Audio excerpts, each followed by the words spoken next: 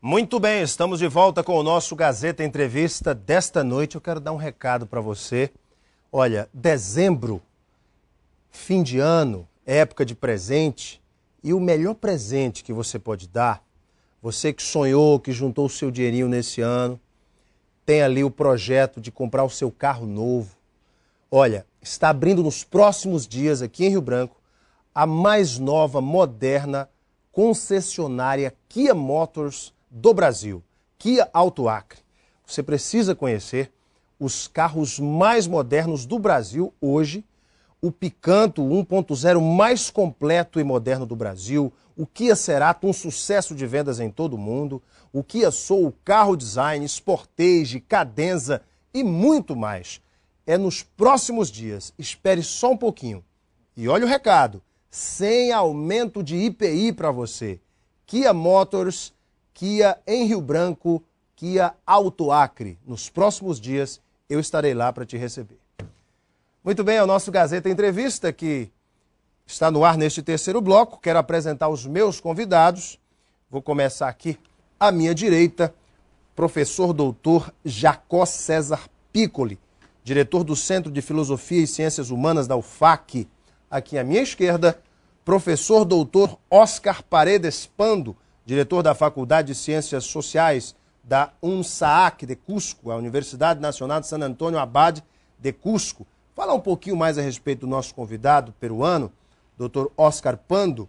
Ele, além de diretor da UNSAAC, é também vereador do, da Municipalidade de Cusco, doutor em mundos indígenas pela Universidade Pablo de Ollavid, de Sevilha, na Espanha, presidente da Comissão de Cultura de Cusco, integrante do Grupo de Estudos e Pesquisas da Fronteira Brasil, Peru e Bolívia, o professor doutor Jacó Piccoli, da nossa UFAC, também é, professor de Antropologia e Ciências Sociais, doutor em Ciências Sociais pela PUC, integrante do Grupo de Estudos e Pesquisas da Fronteira Brasil-Peru-Bolívia, professor visitante do Programa de Mestrado e Doutorado em Ciências Sociais e Meio Ambiente da Universidade Pablo de Olavide, de Sevilha, Espanha.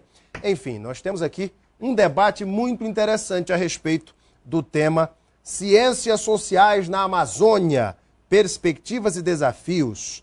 Este é o tema da sétima semana de Ciências Sociais, evento acadêmico que está acontecendo desde ontem, dia 5, vai até sexta-feira, dia 9, ali no auditório da Associação dos Docentes da UFAC, da ADUFAC, no campus universitário de Rio Branco. Professor Oscar Paredes, muito boa noite. Buenas noches. Tudo bem? Y gracias. Un saludo a todos los ciudadanos de Río Branco, de manera particular a los profesores, a los estudiantes, a los funcionarios de la Universidad Federal del Acre, motivo por el que me encuentro en Río Branco. Gracias por la invitación. Satisfação é toda nossa. Professor Jacob Piccoli, muito boa noite. Boa noite. Tudo bem, professor? Senhores, o tema Ciências Sociais na Amazônia, ah, em, que, em que pese as diversas palestras, mesas redondas e seminários desta extensa programação que nós temos aqui, é um tema rico, vasto e que, obviamente, não se esgota neste, ah, nesta semana de Ciências Sociais. Eu preparei aqui algumas, alguns questionamentos. Ah, nós temos hoje na Amazônia como um de suas principais demandas sociais, professor Oscar, professor Piccoli, eu creio que o desenvolvimento, o índice de desenvolvimento humano na Amazônia. Tradicionalmente, nós somos formados por populações indígenas, povos andinos, no caso do Peru e Bolívia.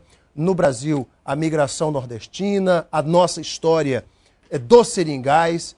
E ao longo dos anos, professor Oscar, professor Piccoli, nós temos visto que a Amazônia como um todo tem buscado, às vezes com sucesso em alguns locais e às vezes com retumbantes fracassos em outros, vencer essas mazelas.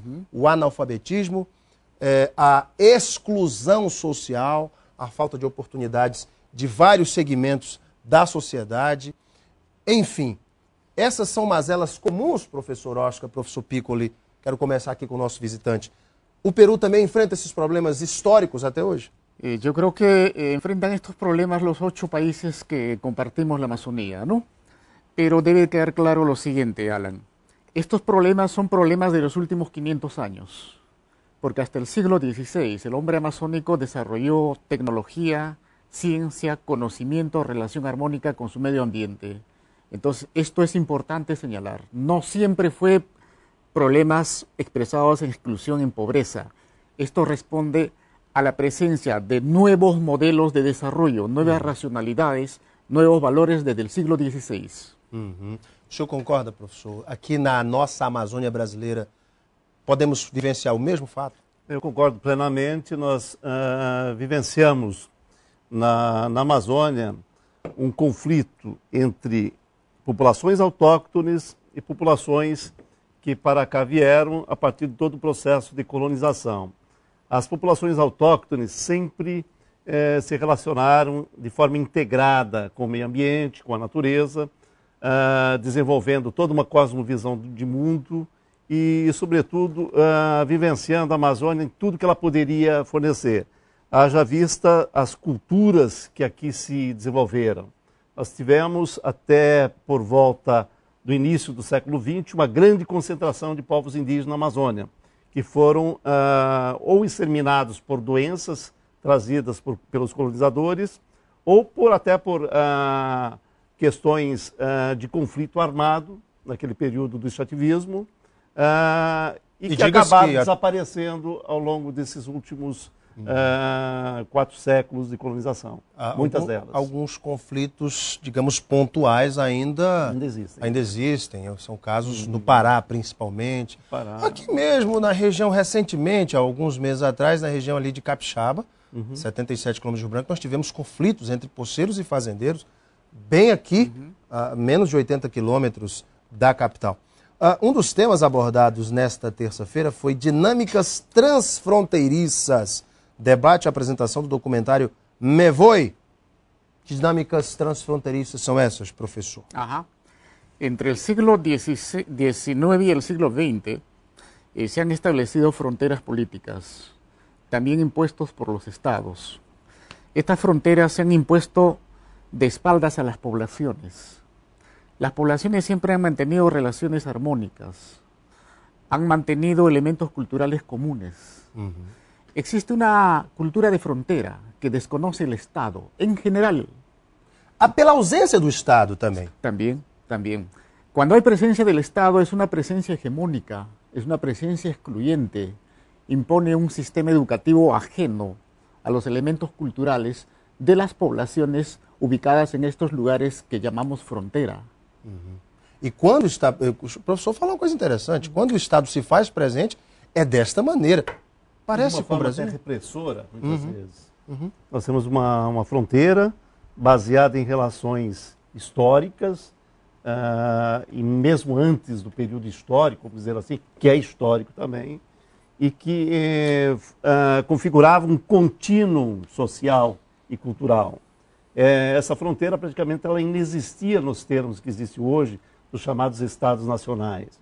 Então, neste momento, a presença dos estados é, de forma repressora e de forma coercitiva, impondo uma série de, de estatutos legais, é, impedindo muitas vezes que populações que estavam unidas é, continuem se relacionando. Nós temos uma situação muito, muito típica nessa região da fronteira Brasil-Peru e Brasil-Bolívia. Nós temos povos indígenas trinacionais, povos indígenas binacionais. É o caso das Acheninca, tanto no Brasil como no Peru. É o caso dos Mariraculina, tanto no Brasil como no Peru. Nós temos o caso dos Runiquim, tanto no uhum. Brasil eh, como no Peru. Os Jaminawa no Brasil, Peru e Bolívia. Então essas populações, elas foram praticamente fracionadas, fragmentadas em função da existência dos Estados Nacionais. Professor, recentemente, eh, durante a construção da rodovia interoceânica até Porto Maldonado, uhum. numa viagem que eu fiz neste uhum. período, eu vislumbrei um momento de manifestação, de mobilização de eh, trabalhadores, sindicatos e de povos indígenas eh, denunciando a invasão de seus territórios, denunciando mineradoras norte-americanas, enfim. Este problema ainda persiste naquela região? Eh, Madre de Dios es la capital de la biodiversidad del Perú. tiene mucha riqueza cultural primero, luego riqueza biológica. Es una naturaleza pródiga, donde los incas trabajaron oro, explotaron oro. Desgraciadamente, el oro cuando llegó al mercado toma otras características y nacen los conflictos. Hay minería eh, informal de migrantes indígenas andinos empobrecidos. Ellos generan problemas ambientales. Se tocan las tierras de los indígenas amazónicos. Pero detrás de la minería informal están los capitales norteamericanos, canadienses, australianos, chinos. Hay aproximadamente 30.000 garimpeiros, o sea, Ainda informales. Hoje? Ainda hoje? Hoje. Um número incrível. 16 toneladas. Madre de Dios produce 16 toneladas de oro al año. Loucura. Entonces es mucho dinero, es mucha riqueza. E essa riqueza, ela, pelo que nós vemos em algumas cidades, como uma vila, ali naquela região antes de chegar em Porto Maldonado, Aí está el cidades muito pobres. Exacto, Nós ahí não el vemos problema. essa riqueza aplicada. Claro, la riqueza se explota y la riqueza sale. ¿Qué queda? Destrucción, problemas ambientales, más pobreza.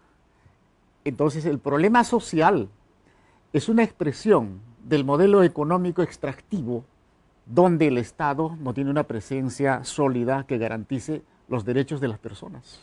Quem é que luta por essas populações e quem é que faz oposição a essa realidade no Peru, professor? Yo creo que hay una, hay una creciente eh, organización de los, de los mismos pueblos indígenas, eso es importante. Y también eh, las universidades estamos entrando en un diálogo. El resultado de estas actividades son los vínculos que tenemos entre la UFAC y la Universidad del Cusco. Son primeros pasos, pero van orientados a consolidar una alianza académica, científica, para el desarrollo humano de esta parte de la Amazonía. ¿no? Pelo que eu vejo, professor, essa semana também tem esse objetivo. Exatamente. Realizar não- justamente esse intercâmbio, essa ajuda mútua. Exatamente. Nós não vamos ficar apenas no aspecto discursivo da semana, cu- cujos temas são profícuos e ensejam muita discussão. Nós queremos ah, desenvolver relações concretas, que, aliás, já há algum tempo a gente vem dando passos nesse sentido. A UFAC realizou ainda no ano de 1982 o primeiro seminário Brasil-Peru de Ciência e Tecnologia. E o que nós queremos agora, com a Faculdade de Ciências Sociais da Universidade Nacional Santo Antônio Abad de Cusco, estabelecer uma relação mais estreita, inclusive em nível de uma cátedra, nos termos propostos pela Unesco, em que nós podemos nos integrar para discutir a Amazônia, mas também propor soluções do ponto de vista social, do ponto de vista cultural. E o que nós É, percebemos, os problemas são os mesmos, Son comunes. são comuns aos países. E eu sei, professor, que o senhor tem uma opinião bastante polêmica a respeito das estradas na Amazônia, desde a interoceânica até a BR-364. Estou certo? Sua posição é polêmica. Tem, obviamente, ninguém é contra uma estrada. Nós vamos contra ah, os reflexos, as decorrências os, ah, que as estradas acabam criando. Né? Por exemplo, Nós temos, ah, a partir de uma estrada, necessariamente desflorestamento, problemas ambientais de toda ordem. Nós vamos ter problemas sociais do ponto de vista da desorganização das pequenas comunidades. mas ao mesmo tempo essa estrada não promove a integração dessas comunidades à capital, a facilidade para obter, enfim, produtos e serviços. Sim, enfim. mas nós temos que pensar que o que organiza essas sociedades, esses grupos sociais, Ah, são os interesses econômicos. E nem sempre essas comunidades participam em pé de igualdade nas relações de mercado contra grupos econômicos, contra fazendas, etc. Então, o aumento da pecuária é vai ser uma decorrência quase que necessária da- do processo de desenvolvimento da infraestrutura das estradas, tanto no Brasil como no Peru. E com isso nós teremos a expulsão do pequeno parceleiro, nós teremos ah, des- ah, praticamente a desapropriação daquelas pequenas propriedades. Com isso nós teremos o inchamento ah, dos núcleos urbanos. Rio Branco provavelmente vai ter uma outra, ah, vai receber uma outra migração da zona rural, que ocorreu na década de 70, né, quando a pecuária entrou para valer na região. Enfim, todos esses esses, pode- esses problemas vão ser potencializados. A, a estrada vai potencializar esses problemas. cabe ao Estado estabelecer políticas sociais de minimização desses problemas. Uhum. E isso é muito difícil, e nem sempre o Estado cumpre a contento. Não consegue cumprir ah, em nível de educacional, em nível de saúde, e é, imaginamos... Serviços públicos serviços para essas comunidades. Serviços em gerais para essas sociedades, por exemplo. Senhores, infelizmente nosso tempo está estourado. Eu recebi aqui no nosso Gazeta Entrevista a presença dos professores doutores, professor Jacó Piccoli, diretor do Centro de Filosofia e Ciências Humanas da UFAC, e professor doutor Oscar Paredes Pando, diretor da Faculdade de Ciências Sociais de Cusco. Professor Oscar, muito boa noite. Muito obrigado pela sua Muchas gracias. Eu quero hacerte este presente de um livro que hemos publicado com professores de Brasil, de Espanha e da Universidade de Cusco. Oh, muito obrigado, ti. professor. Muito obrigado. Mostra aqui o, o livro aqui, gente. Está aqui com o tema História Memória e Memórias três das Três Fronteiras, Brasil, Peru e Bolívia. Muito bacana. Muito obrigado, professor. Gostei. Professor Pico, muito obrigado. Parabéns pela Semana de Ciências Sociais da UFAC. Para vocês de casa que nos acompanharam, muito obrigado pela sua audiência e seu carinho. Um beijo imenso a todos, fiquem com Deus no coração e até amanhã.